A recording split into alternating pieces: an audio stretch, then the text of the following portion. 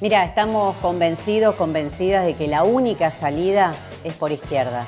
Gobernaron todos. Radicales, macristas, las distintas variantes del peronismo. Los liberales, porque las ideas que hoy plantea mi ley son las de Menem y Caballo. Gobernaron todos y la herencia de la dictadura prácticamente la dejaron intacta. Si vos te fijás, hoy compras la mitad de lo que comprabas con un salario de cualquier trabajador en el año 74. La pobreza antes de la dictadura del 4%, hoy supera el 40%.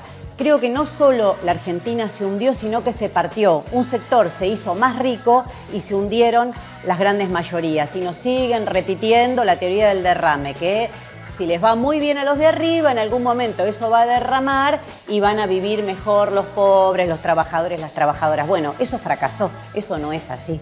Mira, es la izquierda eh, la única salida justamente porque es la única fuerza política que propone que toda la riqueza que se genera, que genera la clase trabajadora, esté en función de las necesidades sociales y no de unos pocos, que son en definitiva los que viven del trabajo ajeno y toda esa riqueza se la quedan unos pocos, mientras las grandes mayorías están cada vez peor. Por eso la izquierda es la única fuerza política que plantea una salida favorable a las grandes mayorías trabajadoras.